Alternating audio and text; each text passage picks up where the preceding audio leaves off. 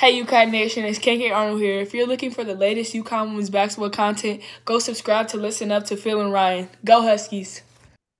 Welcome back, Phil and Ryan on Listen Up to first year of the new year 2024. Hope everybody had a great New Year's Eve. Watch the ball drop. Hope everybody's starting the year good. A uh, couple couple updates before we get into this Creighton for the last check-in as the Huskies travel to Omaha to face another team in the top 25. Couple updates. Aaliyah Edwards, Big East Player of the Year. Uh, excuse me, not not Big East Player of the Year yet. Big East Player of the Week for this past week after posting yet another double double in Sunday's win over Marquette. It was actually her fifth double double in the past six games for the UConn Huskies. KK Arnold earned her fourth Freshman of the Week nod this season. Huskies freshman class has been absolutely dominating that award uh, so far this year. And UConn also moved up three spots to number 12 in the AP poll. And now, like I said, UConn travels to Omaha to play number 21 Creighton on Wednesday. I would say the Blue Jays are a pretty similar team to, to to the Marquette Golden Eagles. Team with a lot of experience includes some outstanding seniors, starting forward Emma Ronsiek, guard Lauren Jensen, forward, uh, forward Morgan Maly, uh, guard Molly Mogensen, forward Mal- Mallory Brake. The list just keeps going on and on for the Creighton Blue Jays. Also slim- similar to Marquette in terms of size, which could also benefit UConn considering the, the rebounding battle. UConn did a pretty good job against Marquette hopefully they do another pretty good job against Creighton in this game. I always look forward to the matchups inside. Looking forward to seeing this one between Emma Ronsiek and Aaliyah Ed- Edwards battling inside.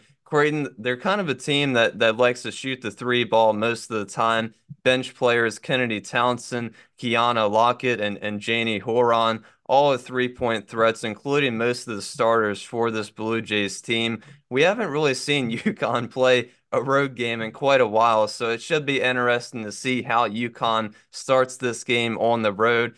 Um, to see what their energy is, their mindset going into the new year, and hopefully they can kind of take control of the game pretty early and finish the game strong, like we've seen uh, in these recent past couple games, like they've been doing at home. All right, yes, yeah, some very familiar names, Ryan, and uh, it's a pleasure to be back with you. A brand new year. You are right about that on this Wednesday, a beautiful, or excuse me, Tuesday. See, I'm already losing track of days, Ryan. Uh, that's what the new year does. The holidays, it it leaves you with a long hangover, but I promise I'll do my best today with you. Oh uh, yeah, a lot of familiar names. Uh, another Big East test. You know, um, I I really made a bold statement. I was kind of nervous when I made my prediction, and we'll have predictions obviously again at the end of this video. When I made my prediction against Marquette in the last check-in, I, I thought about it, and after the video, I'm like, "Wow, Ryan, did I say 90 points?" So UConn even scored higher than 90 points. So again, though, this is a test. Don't get me wrong for UConn, um, but I believe they will be ready. Obviously, they will handle things um, just fine. And again, a lot of familiar names on the Creighton Blue Jays roster. And if I'm looking at this right, the last uh, game between these two, it looks like a 62 to 60 UConn victory. Um, so if that is correct, Ryan, and I believe that was Caroline Ducharme's uh, return in that game after missing 13 games with a concussion. If you remember that, all the way back in February of 23, so almost a year ago. Um, and then the first matchup though of last season, it looks like that they defeated.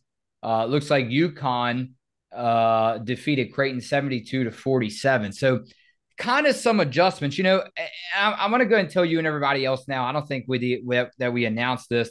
Um, no last check-ins for the second time that UConn faces a Big East opponent. Um, yeah. So there, Ryan, you had that on the table. So, but again, very important. Let's not let's not get it uh, get it wrong here because we know just as much as important as the first matchup is, it's important. The second matchup is just that much more important, right, Ryan? Because what's your take now when you look at last season? Obviously, brand new season, and I would say UConn totally a lot more healthier, some a lot more star players maybe than last season. Now, Dorka Juhász, uh, Lou Lopez, Senechal, I get it. They had a lot of fresh talent on that roster, but look at the freshman Ryan this year, and again, I pointed out KK Arnold, Ashlynn Shade. I forgot to mention Shade in the last video. Yes, she stepped up big time. Qadence Samuels.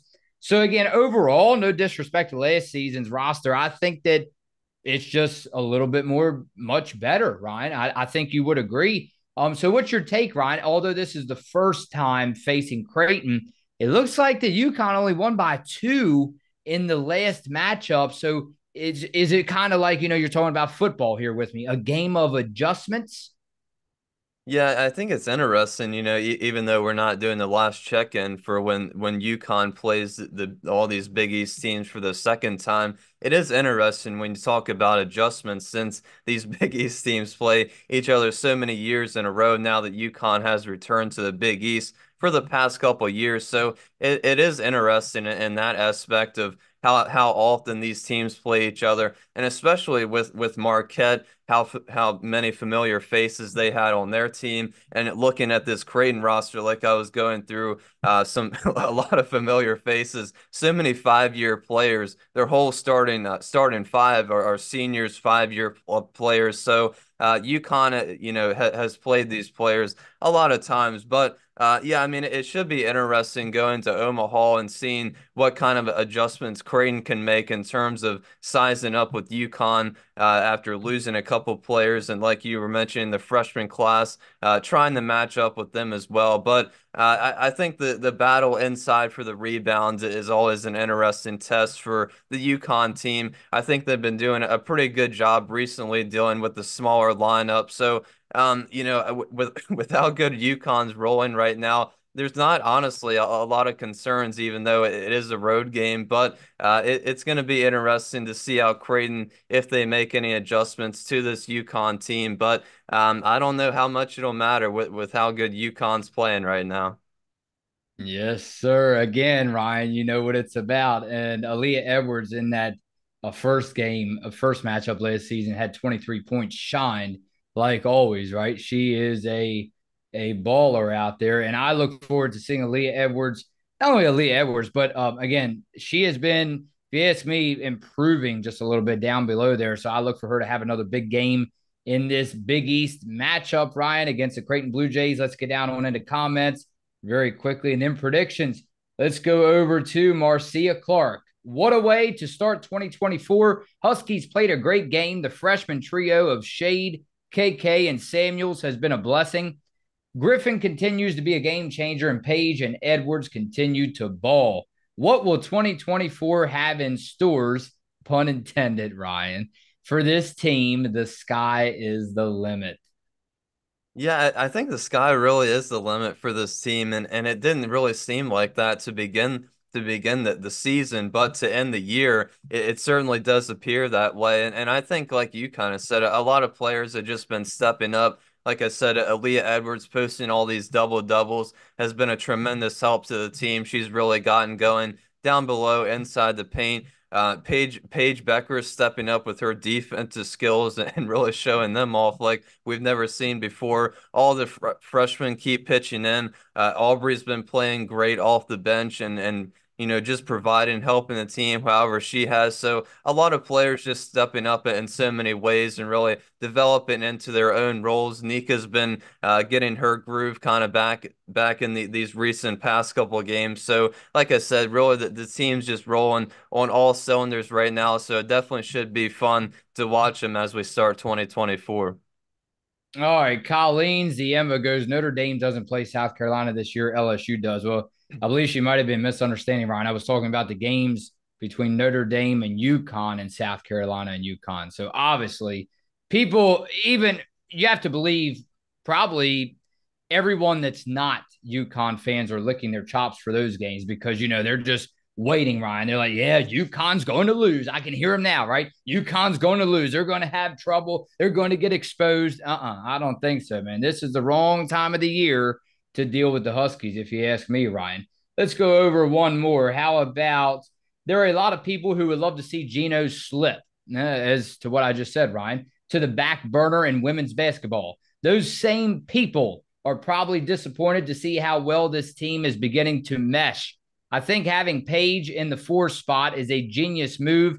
She can post up about as well as anyone, and this short lineup creates a situation where they are too quick down low. If opponents try to zone UConn, their shooting will kill teams from the outside. Interesting to hear Geno after the game say no Big East team will go undefeated this year. Yeah, I, I think it, it's it's kind of interesting to see how teams match up and play UConn because you would think it'd be easier since they are so small, but it, it actually poses uh, quite a challenge as we've seen in these these recent games trying to match up with UConn and just how, how good they're doing uh, doing meshing like they just said with, with this lineup that that they've been given. But I, I think you know that goes along with how the Big East, what Geno said, how every team's been been improving these past couple years. So definitely not expecting anybody to go undefeated undefeated in Big East play either. But uh, it's definitely still possible from UConn, but still a lot of tough tough Big East opponents still yet to come. All right, well, it's going to be a challenge too, then, Ryan. According to this person, uh, if UConn doesn't sweep the Big East, I guess we'll have to figure out which Big East game, Ryan, that they're going to lose.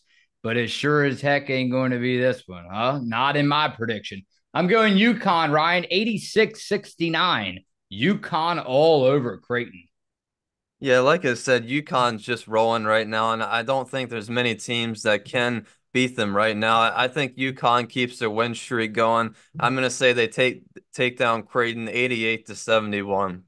All right, Ryan. I'll see you tomorrow. Looking forward to it. Right back here on Listen Up. It's UConn on the road, 12 and 21. Ryan, thank you a lot, and again, a very happy New Year. Phil and Ryan Listen Up.